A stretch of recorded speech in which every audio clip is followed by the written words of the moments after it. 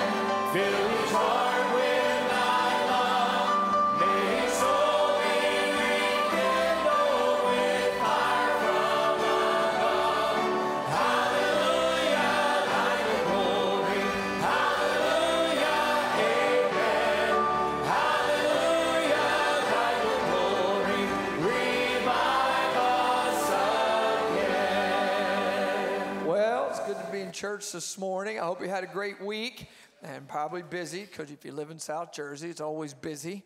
But you survived and thrived, right? I thank the Lord for that. We had Bible college graduation on Thursday. Thanks for everyone who came to that. It was a great blessing. Man, it was just exciting, and the kids did a great job. Yesterday, we had our Master Clubs regionals. That's our young people, part of the Master Clubs program. And some of you were involved with helping with that, or you had your children participating in it. So that's wonderful. And I'm glad that uh, our church family gets behind these type things. So lots going on. Pastor Clark's preaching in West Virginia this morning. And so we're going to be praying for him. He's there with my mom. I want to thank anybody who prayed for me. I was preaching Friday and Saturday in Missouri. Got back last night. And so it's good to be back in the promised land of New Jersey. Hallelujah. And no place like this place. So this must be the place. And I'm glad for it.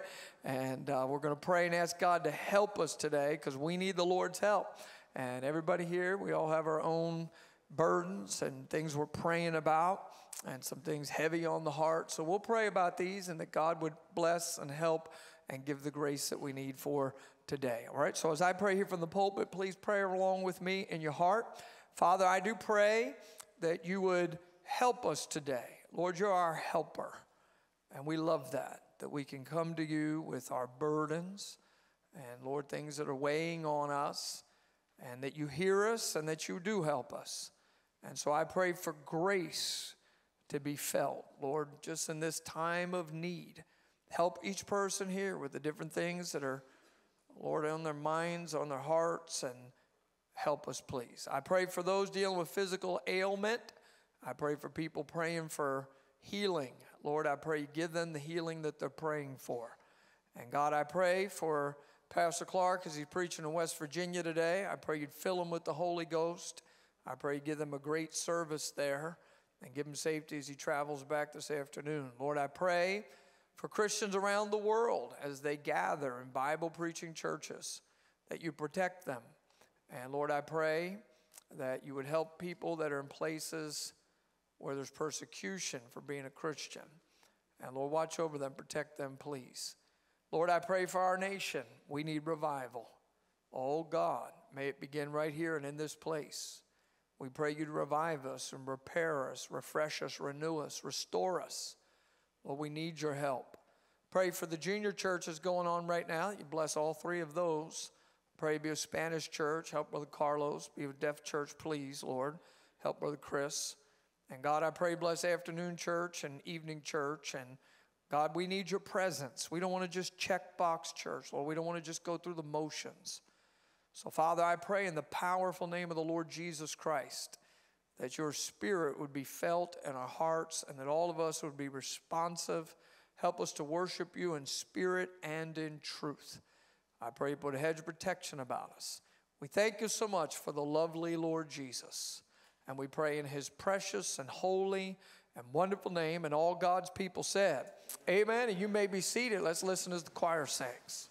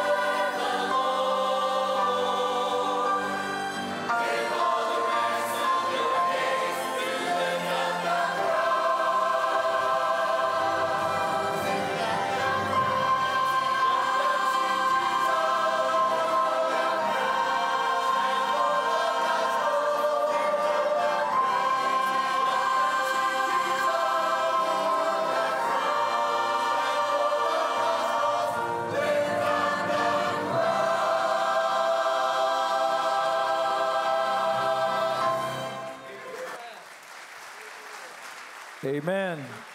May the Lord help us each and every day to share the gospel with this lost world. Jesus is the answer. Let's stand together. 355 Wonderful Grace of Jesus. I'm so thankful for the grace of God in our lives. 355 Wonderful Grace. Wonderful grace of Jesus.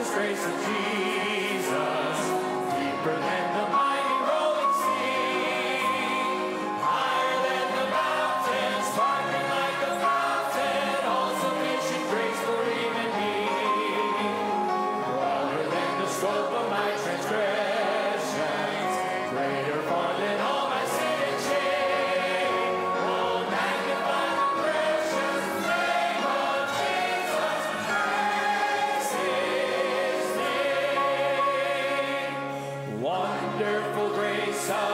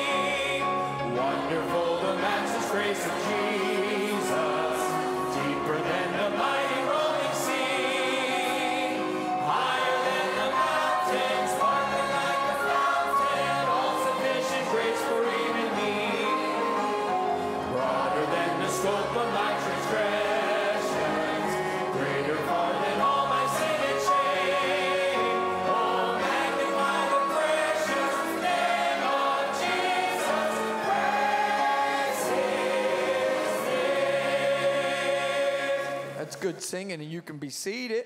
Appreciate everybody in choir singing today. Appreciate orchestra. Appreciate everybody in the congregation. If you're our guest here today, please make yourself at home.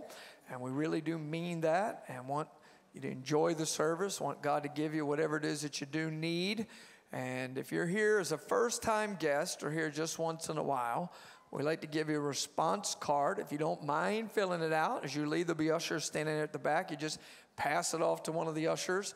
We're not going to make you stand up and give a speech or anything. But if you're here today for the first time or here just once in a while, and if you don't mind, would you raise your hand just high enough where the men would find you very, very quickly? These guys are super fast and they'll get to your row. And if you could take one of those and fill it out. And then again, as you leave at the back, the ushers will be there and you just pass it off to them. So thank you for being there and uh, awesome, wonderful, wonderful. Not sure how you heard about us, but uh, we hope the service will be a blessing to you today. We're going to pray for our offering at this time. If you like to give, you can give online. If you're new to the church and would like to register for online giving, you could do that at solidrockinfo.org, or you can give it to an usher as you leave. There'll be ushers there with offering plates at the back, or you can mail it into the church or bring it by the church during the week, whatever you like to do. We're going to pray and ask God to bless our offering time. Giving is part of our worship. And that's what the Bible clearly teaches. So let's pray about that. Father, I do pray that you'd be pleased with this offering. Lord, I pray you would help your people as we want to be faithful in giving our tithes and our offerings, our faith promise missions giving. Lord, I pray that you bless every single person who gives. And I pray you take care of them and meet their needs. I pray you take care of this church. And Lord, we're relying on you for the day to day. God, I pray you give us miracle money so we could build the buildings that should be built. And Lord, I just pray you'd step in for us and do great things and mighty things that would definitely give you all the glory. And we love you and praise you. Thank you for the abundance that you've put into our lives in so many different areas. And we thank you most of all for the Lord Jesus. We pray in his precious and holy and wonderful name. Amen. Listen to the words of this song. Let it speak to your heart.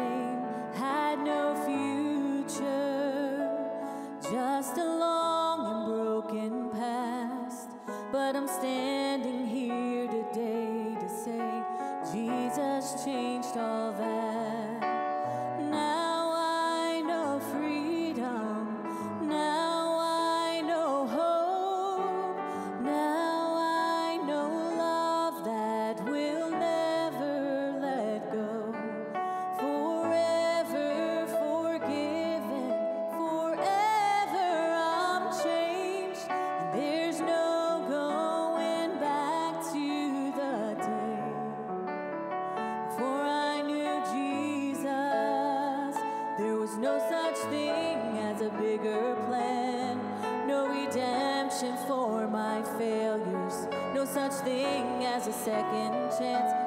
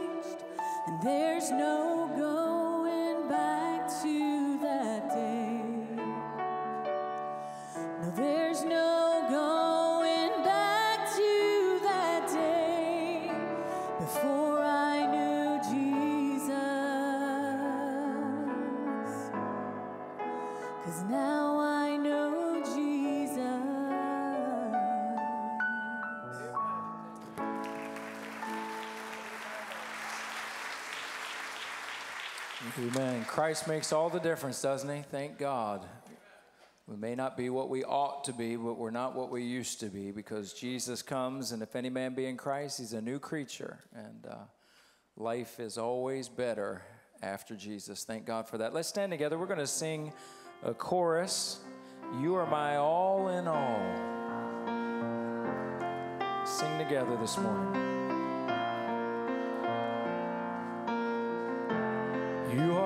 strength when I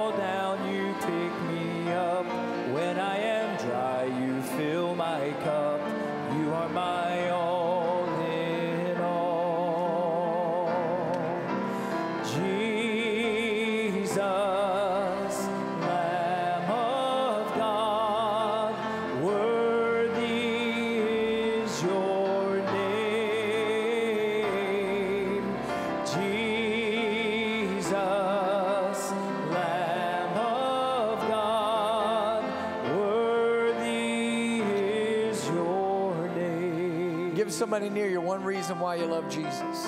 Come on, share something. One reason why you love Jesus. Come on. One reason why you love him. He's awesome. He's amazing. Thank God for Jesus. Jesus,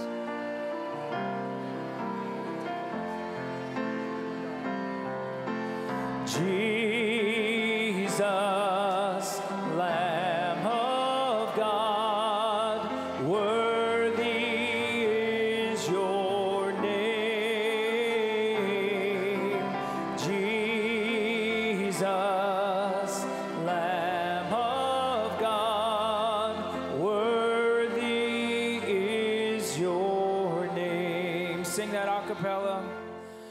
Jesus, Lamb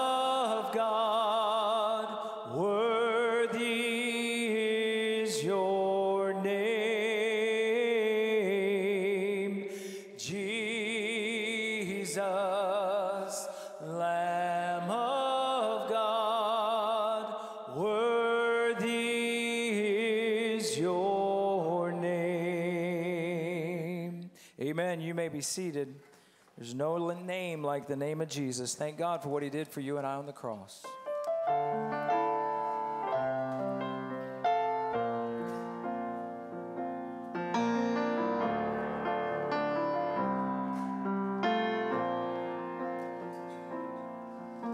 The angry crowd cried out to crucify. They nailed him to a and left him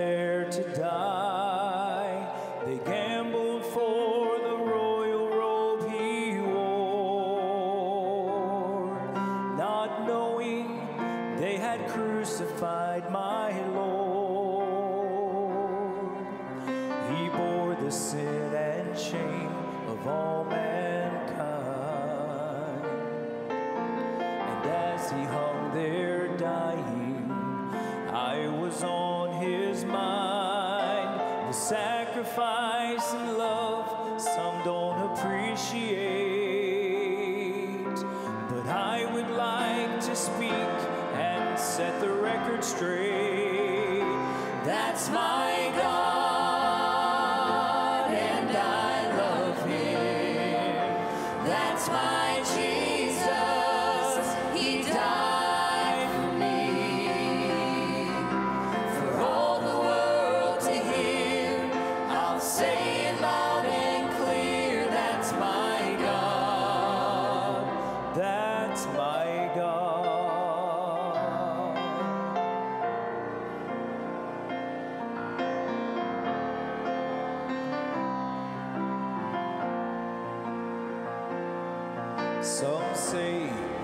nothing more than a fairy tale. He's just a myth or legend, and his presence is not real. His word is not correct politically. They curse and mock his name defiantly. Oh, but time has never changed changeless one, and their lies cannot disprove the existence of God's Son. Though some may be content to just sit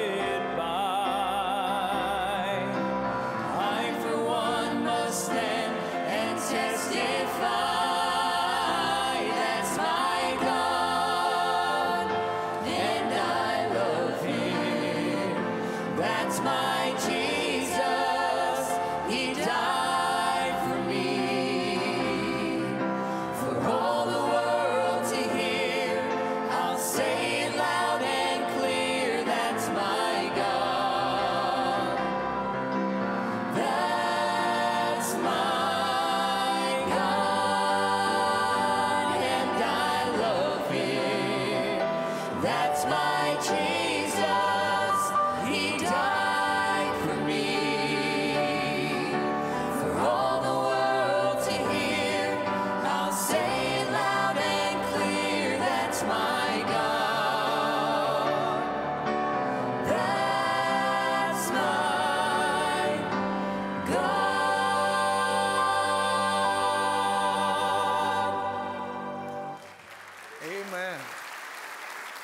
family. Appreciate that song. Please turn to the Word of God to the book of 1 Peter. 1 Peter chapter 1 in your Bible. And if you don't have a Bible, there's one there in the songbook rack. And I think you'd be on page 1049. 1049. If you need one of the Bibles there from the songbook rack, please feel free to use that. We were in 1 Peter chapter 1 last Sunday evening. I want to encourage you to come back for Sunday night church. And we have, it's a different message from the Word of God, different songs, all of the Sunday night services. And so you can learn a lot from the Bible. It's our family service. All the kids and teens are in here. It's a great time. So we were in 1 Peter chapter 1 last Sunday night, where in verse 7 we talked about and preached about the trial of your faith. And we mentioned, I'll just give a quick review, that the trial of your faith is the testing of your Christianity. And so it's part time. Verse 6 says it's for a season. And it's for a purpose. It says here in verse 6 if need be, if God decides that it's His choice to allow the testing of your Christianity, then that's important. We made mention that it comes through many problems. In verse 6, it says, manifold temptations, all different types of trials, testings, tribulation. Could be spiritual, could be physical, mental, emotional, social, financial. We talked about the trial of your faith is painful. In verse 6, you are in heaviness. times you have that, there's no doubt about it, but it's precious. Verse 7 says it's more precious than of gold that perisheth. So God uses it and God blesses it. Went along with our adult Bible class lesson today from the book of Romans and talking about having eternal perspective. So we go through some suffering now, but it doesn't last forever. From James 1, we learned it produces patience. Also in James 1, we learned that it makes you perfect in the sense of complete and spiritually mature. It brings praise in chapter 1, verse 7 of 1 Peter here, might be found unto praise and glory and honor. I believe partly that praise is what God does for us and commending us, but it's ultimately for Jesus to get all the glory for our story. We talked about how it cultivates your passion in verse 6, the idea of that you would uh, love and, and rejo- rejoice and, and we would love, and this is important. And then lastly, and in verse 9, we talked about that the trying, the, the trying of our faith, the trial of our faith as part of our permanent reward. In verse 9, receiving the end of your faith, even the salvation of your souls, even the salvation of your souls. So there's the salvation of our souls in the sense of when we get saved and in this present moment when we put our faith in Christ. There's ultimately, though, the salvation when Jesus comes again and we leave this world and go on to the next world. And I want you to hear me today. If you're here and you don't know the Lord Jesus Christ, as your own personal Lord and Savior, you can know Him. The Bible says you can know Jesus personally. Kate was up here singing about her life and how Jesus impacted her life and touched her life, and it made her cry. You say, why? Because she's not just singing words, she's singing from the heart. And the Lord changed her life. I remember when she came in as a new Christian. I remember first service she was there in the old Atco building. And God brought her in, and God had changed her life. She had a dear lady that had led her to Christ, and cha- Jesus changed her life. And that's not just for a few select people, the Lord can change your life today. Now, you have to understand what's called the gospel, and there's four basic elements of that. I'll just say very quickly. Number one, we're all sinners. You have to be willing to admit that you're a sinner. Sin is anything you do that's wrong. We're born with a sin nature, and we're also sinners by choice. Because of sin, there's a price that has to be paid. There's a punishment given for sin. That punishment, according to the Bible, is there's a real place called hell. And people who die without Christ, people who die with their sins still on their account, will pay for that in hell for all of eternity. And hell is a horrible place, and you don't want to go to hell, and you don't have to go to hell. Because for God so loved the world that he gave his only begotten Son.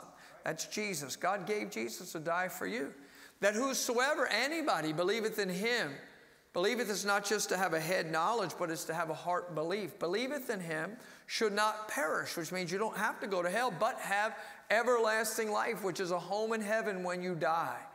Maybe you've been coming to the church here recently, or maybe it's your first time here, or maybe you've been coming here a long time, but you still don't know Christ as your own personal Lord and Savior. Can I challenge you today? You need Jesus. You need Jesus. And life doesn't really begin until you know Christ. Your heart may be beating, but you're not really living until you come to know Christ. And so Peter here is talking to them about the salvation of your souls. I'm going to pray. We're going to begin reading in verse 10. I want you to follow along closely. The devil hates it that you came to church today. He's going to try to distract you. I want you to do your very best to focus and with God's help. Father, I pray that you would stir my heart. And I pray you stir all of our hearts from the word of God today. Lord, help us to be attentive to the scriptures. And Lord, I pray it would be clear. I need your help. I pray you would hide me behind the cross. I pray you would empty me of self. I pray you forgive me of sin. And I pray you'd fill me with the Holy Ghost. And I pray for all those hearing the word of God that they would be filled with the Holy Ghost and they're listening. Lord, I pray for anyone here not saved that today would be the day of their salvation. And we pray this in Christ's precious and holy and wonderful name. Amen.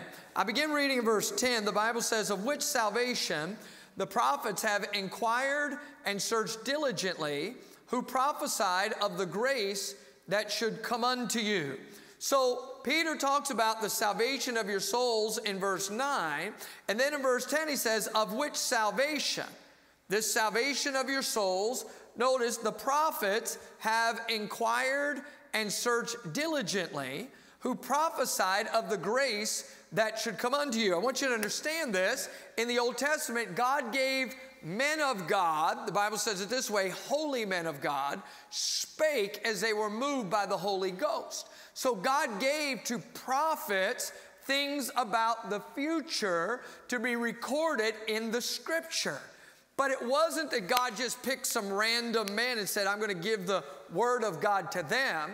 There were some men in the Old Testament and these Old Testament prophets, and notice what Peter says about them in verse 10. These were men, prophets, have inquired and searched diligently.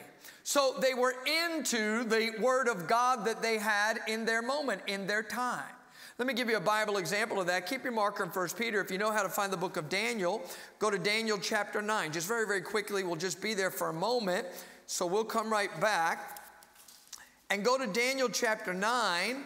And notice Daniel, one of the prophets, one of the great prophets in the Old Testament, uh, his book is called A Minor Prophet. But in Daniel chapter 9 and verse 2, notice Daniel speaking, saying, In the first year of his reign, I, Daniel, understood by books the number of the years whereof the word of the Lord came to Jeremiah the prophet, that he would accomplish 70 years in the desolations of Jerusalem. And, and my point in saying that is Daniel was looking at what he had in the moment in order to understand. So back in 1 Peter chapter 1 and verse 10, of which salvation the prophets have inquired and searched diligently, who prophesied of the grace that should come unto you. Now, Peter, and you got to stay with me. Some of you here last Sunday, the foundation, a little bit about who Peter's writing to. Saved people that would have been in Asia Minor back about 2,000 years ago. And he's speaking to them and he's talking about the prophets. And notice what he said in verse 10 who prophesied of the grace that should come unto you. So in the Old Testament, some people think Jesus isn't there. Oh, he's in every book of the Old Testament. And God used these prophets to record things that prophesied, and the way Peter described it, of the grace that should come to you. So he's speaking to these modern Christians. When I say modern, to us, that would have been ancient Christians 2,000 years ago. But he's speaking to them and he said, Listen, there was a group of people that they studied the Bible and they studied all they had and they inquired. I mean, they're praying about it, and God showed them some things about the grace of God that's been now kept for you. Pick up verse 11. We'll continue with this idea searching what?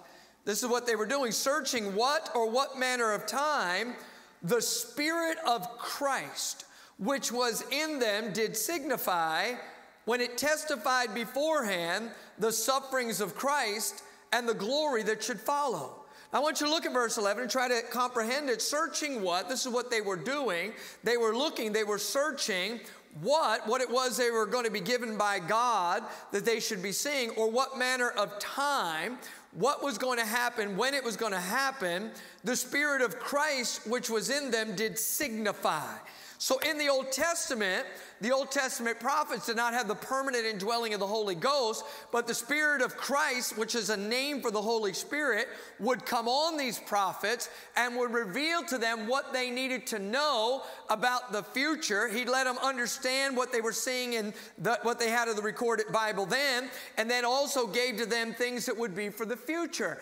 And it pertained, notice verse 11, to Christ's suffering and also, notice how the Bible's described the glory that should follow. So, in the Old Testament, we see things about ultimately the sufferings of Christ. You think of Isaiah for chapter 53. He was despised and rejected of men, a man of sorrows and acquainted with grief, and we hid, as it were, our faces from him. He was despised and we esteemed him not. Surely he hath borne our griefs and carried our sorrows. And here we're thinking about the Lord Jesus Christ when we're reading the book of Isaiah. You read in the Psalms, and there's so much there about the sufferings that would come. Also, the idea he'd be resurrected, that will not leave his soul in hell, and the idea that Christ would raise from the dead. You think about these writings that God gave uh, I, I, was preaching yesterday in Missouri about Moses and how Moses forsook Egypt. And it says there that he esteemed in Hebrews 11 the reproach of Christ greater riches than the treasures in Egypt. The idea was Moses chose Jesus in that Old Testament economy while living in Egypt 1,500 years before Christ had even come to earth with his incarnation at Bethlehem. Now, some of you are tracking this, some of you are a little bit lost. Stay with me. I'll come back if you feel lost. But watch, here's the point Moses was given by God things about Christ that pointed to Christ, including things that were types of Christ. Do you remember Jesus on the road to Emmaus with those two men? After he had resurrected, they thought he was gone. They didn't recognize him at first. He talked about himself to them from the books of Moses first five books of the Old Testament. So here's the point there's always been a group of people that studied the Word of God. There's always been a group of people that were hungry to know God. And in the Old Testament, God would show them what they were needing to see, and God put the Spirit of Christ, a name for the Holy Spirit, in them so that they would understand. He also gave them prophecies that were then kept for Peter and the people of that moment. P- pick up verse 12. Unto whom it was revealed that not unto themselves, but unto us they did minister the things which are now reported unto you. So follow this. He said they studied, God gave them things, but they knew it wasn't for them. It was for those living, Peter said us, which means the people that were living 2,000 years ago. So God gave to the prophets what they needed, and the people of God in that day. And not only did he give them what they needed, but he gave them more of what they not only they did not need in the moment, but others were going to need, Peter and the people of that day in the early church. And then notice what Peter says here, and don't miss this, in verse 12, which are now reported unto you by them that have preached the gospel unto you with the Holy Ghost sent down from heaven. So it went from the prophets and to Peter and the apostles in the early church, and he says that's been recorded to then be passed the gospel to the group of people Peter was preaching to. Now, here's the thought for you. Not only was it for the prophets, not only was it for Peter and the people of his day, the additional things that the prophets were given, but then it was preached in the gospel, the sufferings of Christ and the glory that should be revealed. It was now preached by Peter and these who had witnessed they had witness, and man, they had their witness, but they had a more short word of prophecy. They had the word of God, they had their own experience, and then they were preaching as personal witnesses about the gospel of the Lord Jesus Christ. And here's the thought Thank God throughout church history, there's always been a group of people that continue to search out the Word of God and to believe the Word of God and then preach the Word of God. And now we're living in 2024. It's a great day to be a Christian. You say, How do we become Christians? Because God's kept His word for us, and God has always had a group of people that were willing to pass the word and to preach the word. And the glorious gospel is amazing.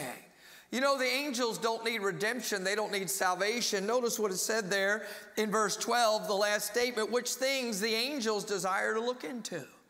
Boy, our salvation is an amazing thing. The angels have watched this throughout Bible history and now church history and up to the current moment. They're, they're looking at that because they don't experience it, including what Kate sang about here. They're a different being. And here we have we, the people who have been by God's grace saved. It's good to be saved. Now, we talked again about the trial of your faith. And then Peter says about our faith and the salvation that we have, that God had given it and it had been passed, and now we have it now. And it's given to us for reason. And there's things that we should be doing with what we know to be true from the Bible. In the current day, we ought to be the crowd that, just like the prophets, just like Daniel that we mentioned, search and inquire. We get into our Bibles, we pray, and watch, church, we want to know how to be living as Christians in 2024. And God wants us to be equipped to do so. Please go to verse 13 and notice the first word, wherefore. Okay? You say, what is wherefore there? It's for us to notice. Because of everything we just looked at, there's going to be the trial of your faith. But thank God you have the salvation of your souls. And there's always been a group of people that God used to continue to perpetuate and pass the truth of the Word of God. And you come up to the day you're living in, we can make application for those of us who's living right now. Wherefore, gird up the loins of your mind. I want you to notice these two words be sober. Would you say that together out loud? Ready? Be sober. One more time and concentrate on it. What's the two words? Ready? Be sober. Brother Charlie, what is sober? Sober is the opposite of drunk. It's one way of looking at it. People who are drunk, they are not thinking straight. People who are drunk, they are not alert. Their mind is foggy. People who are drunk, they can't even walk a straight line, right? They're wobbly. People who are drunk, they can become very, very angry. If you've ever been around a belligerent drunk, you know how they behave. And they can become excessively weepy and they'll just you know, there's a tear in my beer. There are people who become ridiculously foolish, including, I'm going to jump off this, and they jump off a roof in their drunken stupor. They end up getting hurt. There's a lack of control. Why? They're under the influence. And God's word says, those of you who are living as Christian people, you need to be sober. What's that mean? It means your mind is clear. It means that you're under the Spirit's control. It means that you know what you're doing. And it's not because you're so smart, but because of what I just said, under the Spirit's control. And just like the Old Testament prophets had the Spirit of Christ, you remember we just read that name, in them, not permanently indwelt, but He'd come upon them and would reveal to them what they needed to see and know. And in Peter's day, the Lord gave them the permanent indwelling of the Holy Ghost, and God showed them, including Peter here, by inspiration of the Holy Spirit, what to record that would be ultimately kept for us living now. And now is our moment, church, where we are to be sober. Now, let me go on record. Sober does not mean miserable. Sometimes people have this idea, well, be sober means I'm supposed to frown all the time. Sober does not mean don't smile. Okay? Not at all. That's not what it means. Paul said, Rejoice in the Lord always, and again I say rejoice. Paul was at midnight with Silas in the jail, and he's singing songs, and he's praying, and having a prayer meeting and a praise meeting with stripes on his back. So being sober does not mean be miserable. You know, Christians should not look like they've been sucking on lemons, right? Come on now. We don't have one of these cameras that scan the crowd while you're sitting here in church. But if I did, you'd scare yourself on the screen sometimes. when I see from this side, I'm teasing kind of, but reality is Christians ought to be the most joyful people in the world. And it's because you can be sober and know what's going on and be men and women who have understanding of the times that it should bring a joy to your spirit. And he's saying, listen, since you've been given the truth of the Word of God, and since you've had the gospel preached unto you, and since even with your trial of faith, you understand in the early church, again, similar to our Romans lesson this morning, that there's going to be persecution, there's going to be problems, there's going to be trials, but in spite of all those things, you can still be the right type of a Christian, and I'll make application living in 2024. Now go back to the verse there where it said, Be sober, and look at the beginning part of the verse. In verse uh, 13 here, wherefore, and we're going to talk about be sober and what we should do because we want to be sober and how we can live out be sober. Here's what the Bible says gird up, gird up the loins of your mind. Brother Time, what does that mean? All right, think about it. Old Testament, uh, I'm sorry, time of Christ, and the um, garment and that would have been worn would have been long and flowing, the ladies especially long, but then the man would have that tunic on. And when it was time, when it was time to go to war, the idea would be in order to have better movement, they would gird up the loins, tie it there and at the belt, and be able to have more freedom as they were going to go to war, or for instance, if they were going to run a race, right? Paul talked about running a race. Paul talked about warring a warfare. Jesus said, Pray ye therefore the Lord of the harvest that he send forth laborers. If they were going to go to work and labor, there would be this girding up. And here's the point if I'm going to run this race, if I'm going to be in warfare, if I'm going to work, I don't want to be tangled up Bible word entangled. I don't want to be tangled up. I don't want to trip over excess. Are you thinking? Gird up, what's the verse say? 13, gird up the loins of your what? Mind. Let me ask you a question. What are you tripping over? The kids will sometimes say, You're tripping. You're tripping. Let me ask you a question. You tripping? What does that mean, Brother Charlie? Are you tripping? Are you falling over? thoughts where you just kind of, it's too loose in your thinking. What thoughts are you thinking that contradict the Word of God? That you're accepting. Bible calls it an imagination. It's something the devil has devised as a temptation for you to bring it into your mind and say, that's what I'm going to do. Here's the problem if it contradicts the Bible, that's loose thinking. That's not good thinking. It's the idea of tighten things up. Tighten things up. Now, let me ask you a question How's the devil attacking your mind lately? I'll tell you one way he's going to attack. He's going to come at you trying to create a spirit of fear. For God hath not given us a spirit of fear, 2 Timothy 1 7. For God hath not given us a spirit of fear, but of love and of power and of a sound mind. We t- preached last Sunday night about the trial of your faith, and it's in context here. The idea would be the devil wants to try to get you all afraid, and including the idea of suffering. And I'll keep referencing the Romans lesson. Yea, they that live godly in Christ Jesus shall suffer persecution. Not just based on, well, we have problems, because unsaved people have problems. But the problems, especially is describing, is the idea if you take a stand for Christ, not everybody's going to be cheering you on. If you take a stand for Christ, and especially in Peter's day, the early church, the apostles, they were all martyred for the faith. And there's whatever number of people today spending all the time looking at the news and what's happening in the world and how we're falling apart in America, and people are losing their minds over it and they're not being sober. Sober is you see clearly. Sober is your mind is steady. Sober is the opposite of drunk. I've lost control. Hey, you're a Christian. Don't lose control of your thoughts. Gird up the loins of your mind and make sure your thoughts line up with the Bible.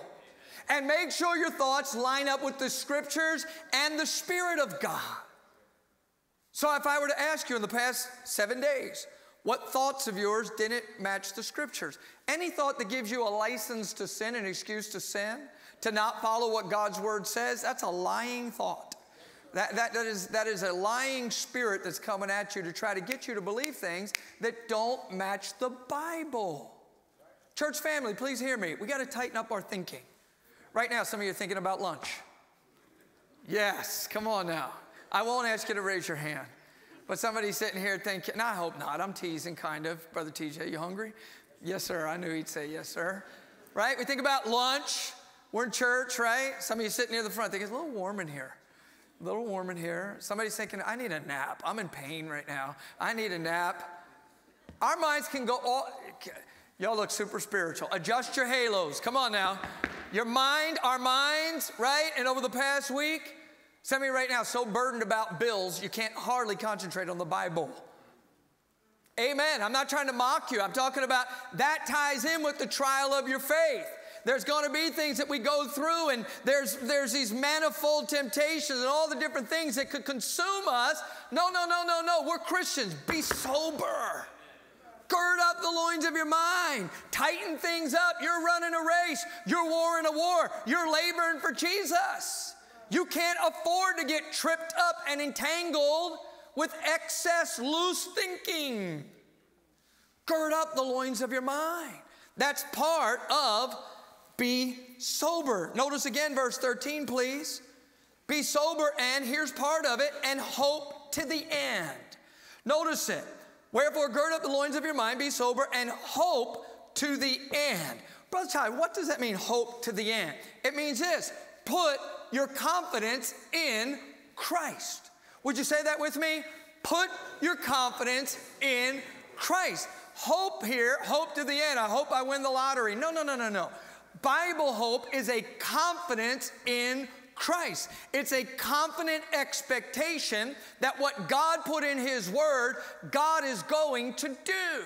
And we're here told in verse 13, hope to the end. For what? for the grace that is to be brought unto you at the revelation of Jesus Christ. That means this all the goodness of God that's going to be coming towards us, both in this world and especially in leaving the next world, we need to be sober and understanding this world is not my home, I'm just a passing through. My treasure is laid up beyond the blue. So, our heavenly perspective, Romans class people, is that listen, suffering and sorrow, it's just temporal. We're going to get to go and be with God. Now that hope a real hope. Look in 1 Peter chapter 1 and around verse 3 or so. Pick up 3. Um, bum, bum, bum, yes. No. Hold on. Yes, 3. Blessed be the God and Father of our Lord Jesus Christ, which according to his abundant mercy hath begotten us again unto what type of a hope, church? A lively hope. One more time. What type of a hope? A lively hope. By what? By the resurrection of Jesus Christ from the dead. You know how you can be clear in your thinking? Christ rose from the dead. If God raised Jesus from the dead and He's promised He's going to raise us ultimately to go and live with God, then we can be sober. We can be clear. We can be at rest. We don't have to be bouncing all over the map. Come on now. Why? Because we have a lively hope. My confidence is in Jesus Christ. My confidence is not in the stock market. My confidence is not in DC. God have mercy. My confidence is not in the United Nations. I know this will have some of your heads just about explode in the pew right now. My, confidence, my confidence is not in the U.S. Constitution. I, am just telling you, I, am all for it, man. I'm, a, I'm, a, I'm as literal about the Constitution about anybody you'll ever meet. And I thank God for it. And I'm all about let's preserve freedom and do this, that, and the other. But let me just tell you something, all right? There's nothing in the Bible that says it's all about America or any other nation. It is Israel in that context. I, I, I correct myself. But here's the point ready? Watch. We're not here just for the preservation of our nation. And I have grandkids and I, and I appreciate freedom, my confidence is not in these things. My confidence is in the Word of God. And my confidence is that God raised Jesus from the dead. And my confidence is that was prophesied in the Old Testament by these men who had the Spirit of Christ. And I'm telling you, He's coming again. That's not a dead hope. It may happen or not. That's a lively hope. How alive is it? Just as alive as Jesus Christ is. May I remind you, come on, church, stay with me now. Listen, He's on the throne. Jesus Christ is alive, and Jesus is coming again. I believe it's in my lifetime. I believe that with all of my heart. I think He's coming soon. I want to live rapture ready. So it's a lively hope. You know what that means? We should be able to be sober. We should be clear in our thinking. We should be alert to the fact that He's coming again. It's super important. Next thought, notice here be sober means to live as obedient children. Pick up 14. Notice as as obedient children. It doesn't just say children, but it gets specific as obedient children. It's interesting. Peter just kind of pulls us in here. Uh, what type of thinking should we have? Obedient children. You said, Brother Tyler, what makes children obedient? They do what their parents say. That's the goal, right? All of you that are raising kids, isn't the goal for your kids to listen to you? Obedient children. Well, check this out. If you're saved, you have a heavenly father. Everybody help me. Where do we learn what God wants? Talk to me, help me. Where do we learn what God wants? The Bible, right? So, part of being sober in the way we're thinking and ultimately behaving is to just be clear. We know what God says, so we do what God says. You know, the Christian life is not really complex. A, a, good kid just does what his mom says. A good kid just does, in the sense of good, in the sense of the term of obedience. They do what their dad says, they do what their mom says. You know what God wants from us? To obey, to be obedient children. Didn't Jesus say in John 14, 15, if you love me, keep my command, not suggestions, if you love me, keep my commandments, right? The proof of your love is obedience to your Lord. As obedient children. You know what would really give us clear thinking? You know, it would really help us as part of our being sober if we just do what he says. Amen. I'm preaching to me now. I'm preaching to you too. We just do what he says. It's part of we're thinking spiritually and clearly, and we're having a Holy Spirit influence upon every area of our life. So, as obedient children, and here's the contrast in that same verse not fashioning yourselves according to the former lust in your ignorance. Kate saying, Before I knew Jesus. Notice in verse 14, not fashioning yourselves according to the former lust in your ignorance. You know what this means? Don't start living like you used to live before you got saved. The former lust in your ignorance, before you got saved, you didn't even know all of what God had said in His Word. But now that you do, live as an obedient child to the Word of God, not going back and acting like you don't know anything anymore. Christians should not be backsliding. Christians should not be, what the Bible says, grow in grace, not shrinking grace. Amen. Come on now. If, if, listen, if you've gone back to the world, the old song said, I, I don't want to go back to the world. There's nothing in the world for me. Yeah, I'm looking straight ahead, not looking behind. Listen, don't go back. Don't go back to pigpen living. Don't, don't go back to the former lust and the way you used to live, the way you used to think. Remember when you got saved, you just believe everything in the Bible. And now, because of the trial of your faith or other things going on in the world, it's kind of, mm, well, I know it's true, but I just won't practice. No, no, no, practice as obedient children. And that's part of be sober. Notice nextly here, be sober means be holy. Pick up 14 and 15. As obedient children, not fashioning yourselves according to the former lust of your ignorance, but as he which hath called you, Church, you see, that's a calling. As he which hath called you is holy, so, three words together out loud, ready? Be ye holy. Notice, in all manner of conversation. Conversation's your manner of life. And it says, in all manner of conversation. Do you understand, as a Christian, you're not supposed to have one area of your life that's unholy? I'm not supposed to have one area of my life that's unholy. Verse 16, because it is written. Remember how we just said you learn what the Father wants from the Word of God? And here, because it is written, be ye, help me, church, what? Holy. Why? For I am holy. You know what a sober Christian does? They live holy. They live holy. Absolutely. Why do we live holy? Because He's holy. He's our Father. Closeness breeds likeness. The closer you get to God, the more like God you ought to be. I didn't say we're going to become a God like the Mormons would teach. That's false doctrine. But we ought to be in our behaviors resembling our Father. Christians mean to be what? Christ like. Everybody help me to be a Christian means to be what? Christ like. As a Christ follower, my goal is to be Christ like. And so, as a Christian, be sober for me means I want to be holy. That's what God would have for me. I'm clear about it from the scripture. Be holy. Notice chapter 4. Chapter 4. In the context of holiness, for as much then as Christ has suffered for us in the flesh, arm yourselves likewise with the same mind, for he that hath suffered in the flesh has ceased from sin, that he no longer should live the rest of his time in the flesh to the lust of man but to the will of God. For the time past of our life may suffice us to have wrought the will of the Gentiles when we walked in lasciviousness, lust, excess of wine, revelings, banquetings, and abominable idolatries, wherein they think it strange that ye run not with them to the same excess of riot, speaking evil of you. We liked you better when you partied with us. You're not going back to the old life. You say, why? Because now I live holy. It's part of me being sober. It's part of me being aware. It's part of me being the right type Christian. I'm going to be holy.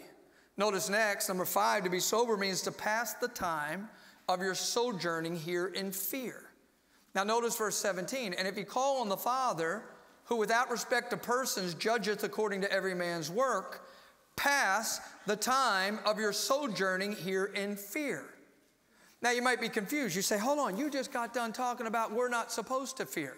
There's the wrong fear that originates with the devil that has you, instead of being sober, has you being scared. There's the right type fear, which is called the fear of God. The Bible says the fear of the Lord is the beginning of knowledge. The fear of the Lord is the beginning of wisdom.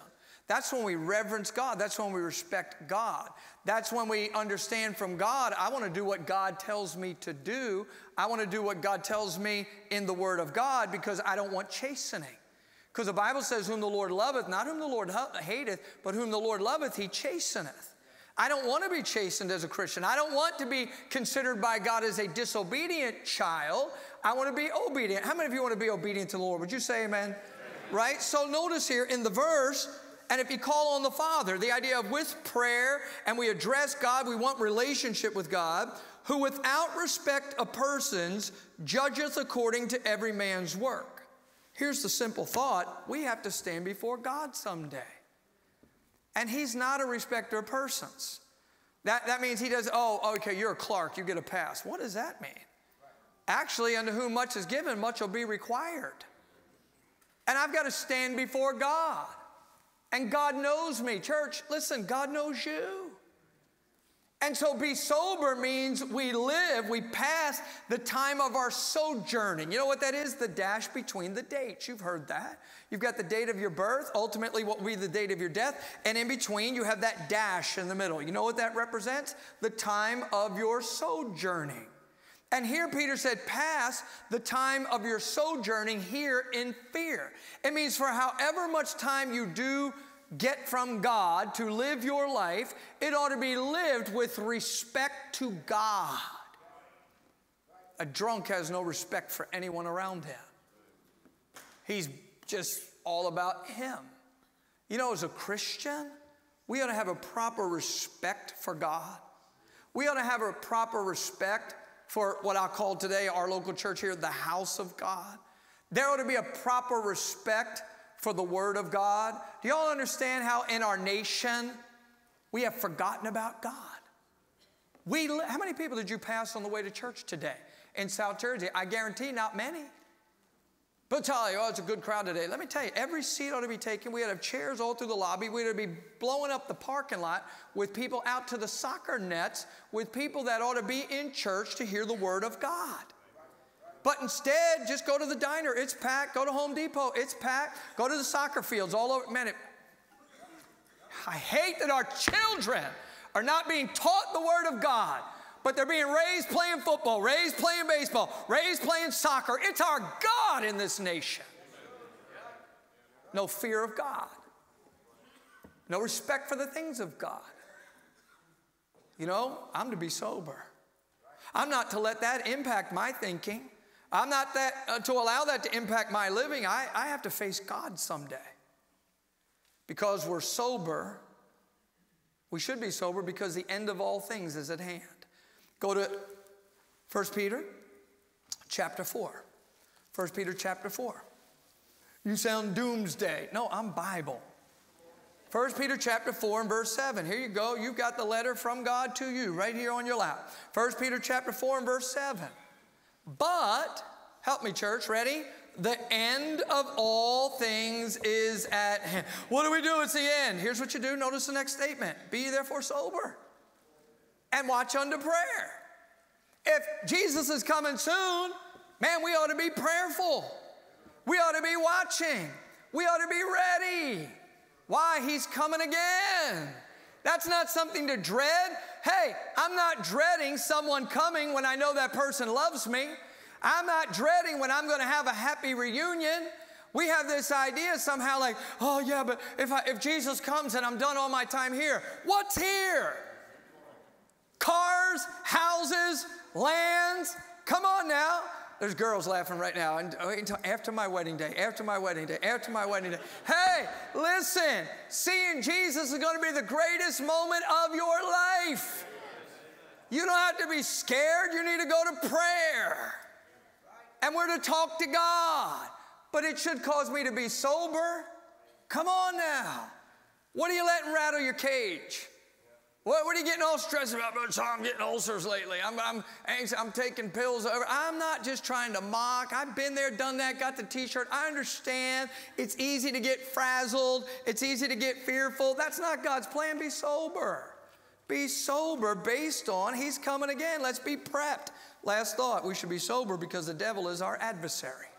Look in chapter 5. Chapter 5 and verse 8. Be sober. It's right there, right? Be sober. Why? Be vigilant. Why? Because your adversary, the devil, as a roaring lion, walketh about, seeking whom he may devour. Hey, if I'm going to wrestle the lion, I want to be girding up the loins of my mind. I, I want to make sure I'm in a place where I'm filled with the Holy Ghost, new levels, new devils. Can I go on record? Hey, and that's not original with me, that's Pastor Doug Fisher that taught me that principle. But if you're going to be in a Bible believing church in 2024, number one, the devil's not happy you're here, honestly. And number two, you're in a minority as compared to what the majority, and we're no better, we're just blessed. I don't deserve to be sitting on a church pew, but it's the grace of God that I do. But here's the thought, man, if I'm going to be in a Bible believing church and our goal is still to get the Great Commission, the gospel out to a lost world, the devil's going to fight against you. Uh, at your try, well, I want to have a Christian family, brother. I'll tell you what. You talk about sober. I want to be sober for my family, and I want us to be an obedient family to the Word of God, and we want to be ready when Jesus comes. If you're going to try and have a solid Christian family in 2024, you may as well just spray paint yourself blaze orange with the devil's attacks. He's going to come at you. But listen, greater is he that is in you than he that is in the world. We don't have to live in fear. The righteous are bold as a lion, and Jesus is the lion of the tribe of Judah. Are you with me? The devil may come and growl and do what he does, but man, we can be sober. We can just be clear. We don't have to be rattled. We can just be obedient. We can be under the Spirit's control. We can know what the Bible says. We have a hope. It's a confidence in Christ. It's a lively hope. He rose from the dead. And we're to be watching and we're to be ready for when the Lord comes. So be sober and gird up the loins of your mind. Be sober and hope to the end. Be sober and live as obedient children. Be sober and be ye holy. Be sober and pass the time of your sojourning here in fear. Be sober because the end of all things is at hand.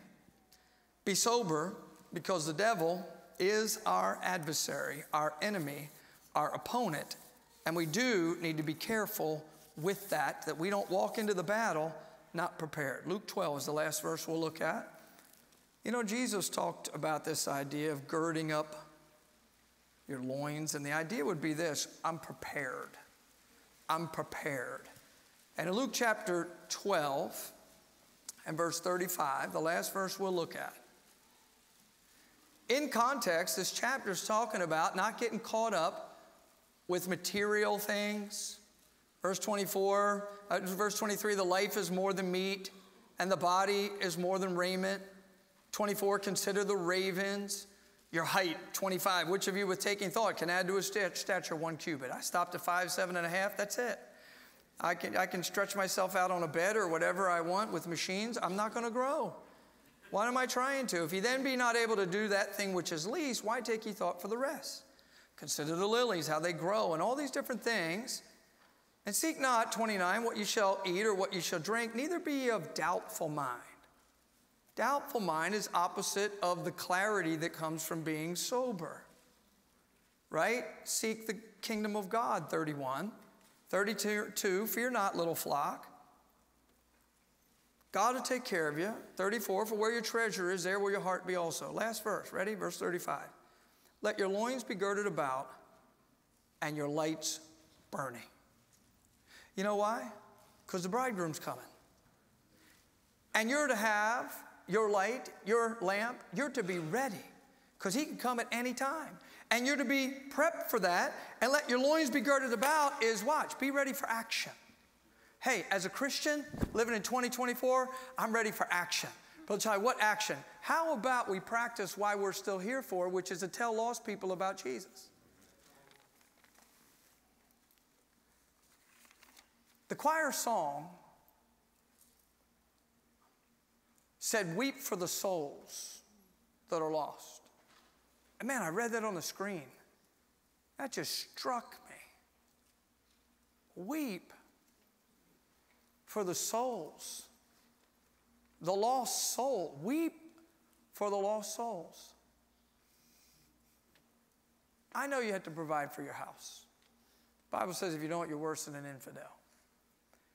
I understand that in 2024, kids want to go out and play and should, and you moms are there to guide the house, and I get it. And I'm not against you being able to get out on the golf course or something.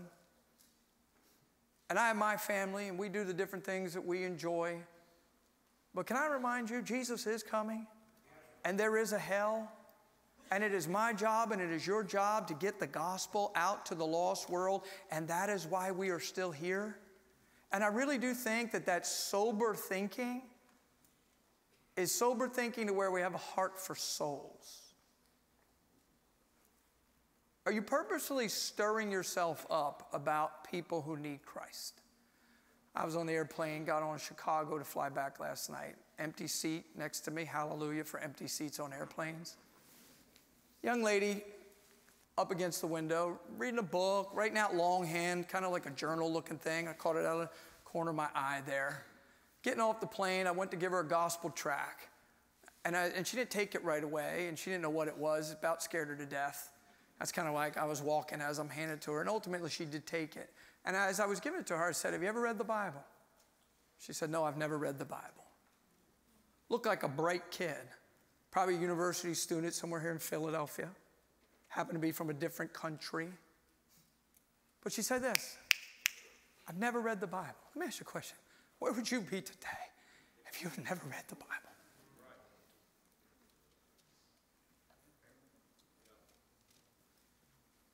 where would you be? What would you believe? Oh, these people, I can't believe what they believe. You don't know what you believe if you haven't been shown the Bible.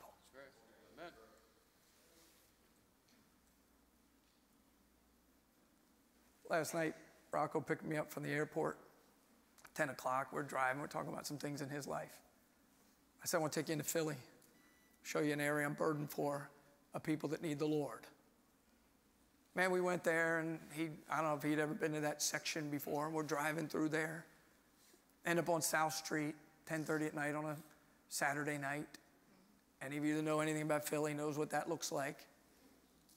You know, that's the crowd that's out there, the young set, and you know, it's warm enough. The doors are open to some of the clubs, and it's flowing over into the street. Went down Broad Street. Kimmel Center was letting out with whatever performance they had. You know, there's some more dignified people. They just party in a different way. Same booze at both places, by the way. Amen.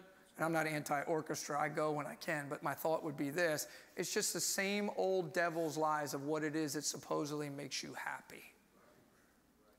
You know where those people are this morning? A bunch of them slept late, or they're going to get brunch, or they're going to do. How many gospel tracts do we take as we leave today and actually hand out? How many people do we actually speak to about Christ in the course of our week? How is it in Solid Rock Baptist Church that we're running some of the lowest numbers ever for our organized soul winning times? When we're closer to the coming of Christ than we've ever been, pray tell me how it could be that we have so few people that will put that on their schedule. I didn't say you don't witness the rest of the week. I'm talking about an organized soul a time where, including as a church family, we go out like an army to take the gospel to a lost world. Do we weep for the lost? Is that song sung? Choir member, do you live what you sing? Do I live what I sing? To my shame. There's too many people, too many opportunities I've let pass by. And I say all that because when I think be sober, I can't think of anything more sobering that I may be the only person standing between a person and them ending up in hell. Sometimes I'll look at a lady with her kids and I'll think, I remember when my mom was unsaved. And I'll think, that lady, I'll hesitate, you know, because in the flesh, you know, do I want to give them a gospel tract? And I'll think, what if that were my mom? What if it was me as kids? I was witnessing to the Catholic preach in D.C. Try to, try to get them to watch the video I'd done of the gospel. I look at that Catholic priest. If my mom hadn't gotten saved, I could very easily have become a Catholic priest. Very easily. 20th anniversary of the church, we kind of did this, what, this is your life as if you hadn't gotten saved from my parents. My brother acted like he was my dad in that, and my sister acted like it was my mom in that. In the middle, I come walking in in a Catholic priest outfit. You know, I know it's kind of like, it wasn't really meant to be humorous. It was more to appreciate the grace of God and what God's done for the Clark family. And I don't know how we can look in the mirror or read Peter when he's talking about, man, the Old Testament guys, they're in the book and look what they passed, and now the gospel and the suffering and his life. How can we have all we have and yet be so unaware? You ever been around a drunk? They have a hard time staying awake. Oftentimes. They'll reach a point where they, they just, doesn't matter what's going on around them. And they'll be loud about it. You know what they're in? They're in a drunken stupor. They're asleep. I wonder when God looks down, if he sees me and says, Wake up, boy! Get your mind clear. Gird up your loins. Go to battle. Get the gospel out. I didn't die for you just to enjoy your Christianity. I died for you to spread the Christianity. Father, I pray, dear God, help me. Revive my heart, Lord. Oh God, give us a burden, Lord. May you help our church to weep for the lost. Let's stand. Be sober. It's not what we have to do, it's not a miserable experience. It's opportunity, it's privilege. Be holy, Be obedient children. Keep your hope. Keep your hope.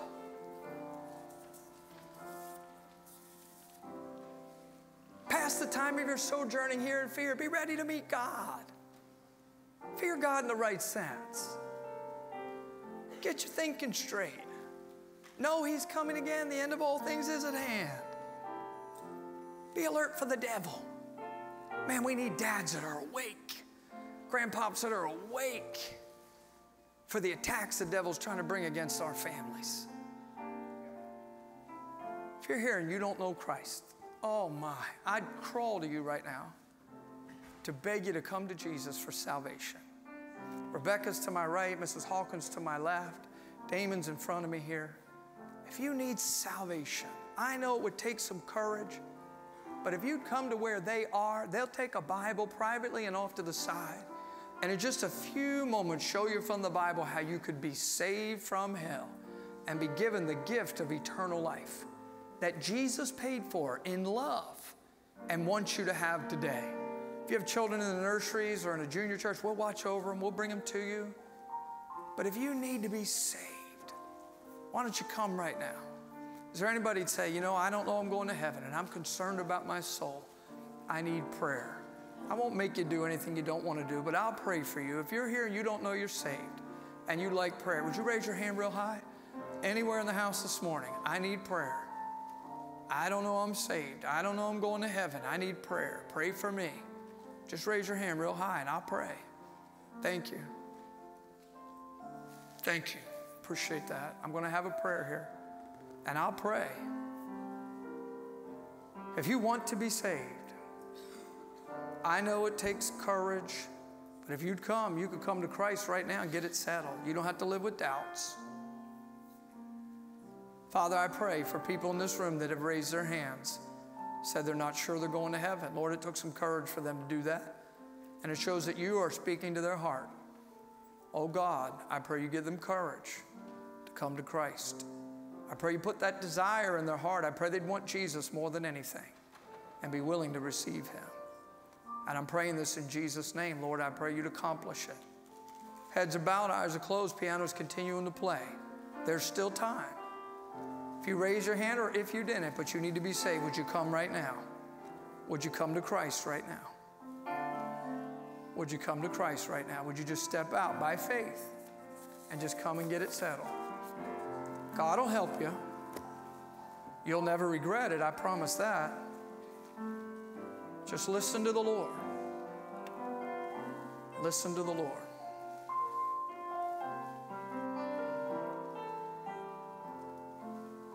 Be sober.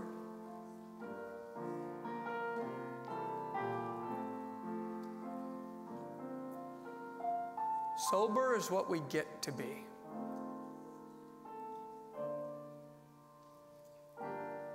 Aware, alert, clear.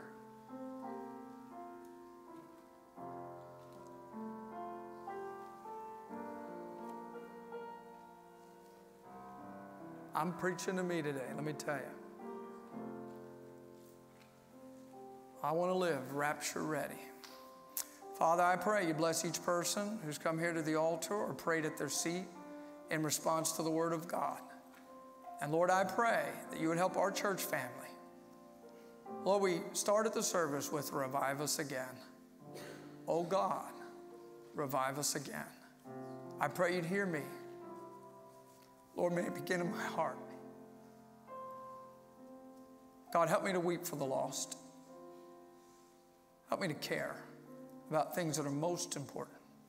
Lord, bless our dear church family. Bless the marriages here. Bless those raising kids, influencing grandkids. Bless people that are single here but have a heart for you and they're going on and just loving you, Lord. Help our church to be a holy place as a church family. God, we need your help. We call out to you. We ask for your blessing, your anointing. And we pray in Christ's precious and holy and wonderful name. Amen. And you may be seated. We're going to baptize. If you're struggling with addictions or stubborn habits, we have a Bible based program called RU, Reformers Unanimous. And that's a very important program. And if you are struggling with addictions or stubborn habits, Brother Joel Patterson is right there at the back. You can meet him at the Welcome Center right after the service. They meet on Friday night. Are you baptizing? Go for it. I, I have no problem. Yes, go ahead. We'll have the uh, crew coming that's joining the church. This is Rocco and Amelia and Navia. And uh, Navia Orsini and Rocco and Amelia Malucci. We've got Marcucci's and Malucci's in this church, all right?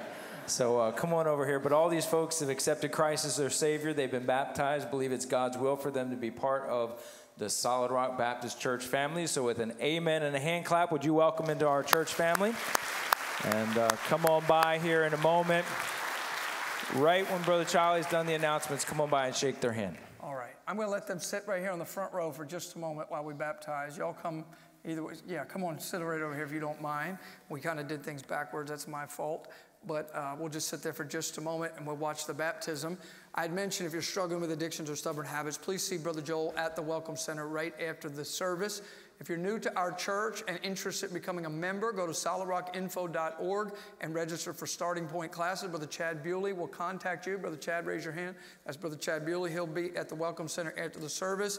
You could talk to him there. You could register online. I want to thank everybody who helped with the Master Club regionals for our children yesterday. Let's give a hand to everybody who helped out and also to our children. We'll talk about that tonight. Appreciate them. This is the last day to sign up for ladies volleyball. They begin in May, so this is the last day. If you're a lady would like to play, go to solidrockinfo.org and please register as soon as possible today. Friday, our Christian school, Thursday and Friday, we have our flag football tournament that'll be out back here, and we need help with concessions.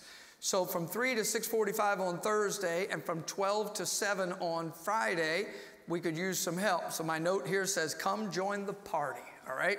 If you like to feed bad food to good kids, that's what we do with concessions. Deep fry away, and uh, it's, I know we're contributing to child, well, never mind. I'll just keep moving. Contact Brother Judd with any questions. I don't know that we can sign up online. I don't see that. And the last thing here on this is save the date, the Solid Rock Baptist Church Secret Sister Reveal. I don't even know what all else I should be saying about that, but Sunday, May 19th, Sunday, May 19th, after the evening service. Baptism, before we baptize, baptism shows on the outside that a person is not ashamed of what Jesus did for them on the inside. So when you see somebody in the surface of the water and them out of it, it's a picture of the death of Jesus. They go under, it's a picture of the burial of Jesus. They come up, it's a picture of the resurrection of Jesus. Water does not wash away sins. It doesn't happen, okay? Somebody believes and then they're baptized, and it's just publicly saying, I want to identify with Christ. I say this often, but my wedding ring doesn't make me married. It shows I'm not ashamed of my wife. If I don't have it on, I'm still married. The point would be with baptism, you can be saved and not get baptized, but you can't be saved, not be baptized, and still be obedient. So, as obedient children, this is a step, first step in growing as a Christian. And so, we're going to baptize at this time.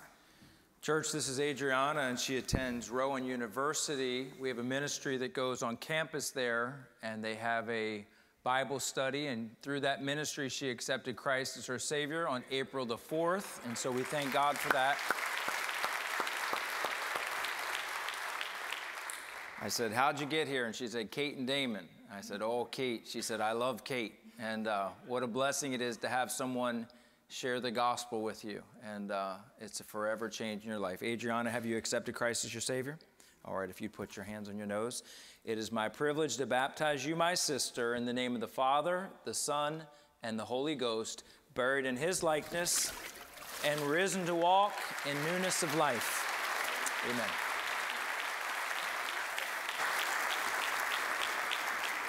I don't know what gets you excited, all right? But I know what gets God excited. And I just got done talking about a young lady that didn't know the gospel, hadn't read the Bible, but here's a young lady because of our young people reaching out at Rowan. She got saved and got baptized today. I could just go run a lap about from here to Atlantic City on that one because of being excited.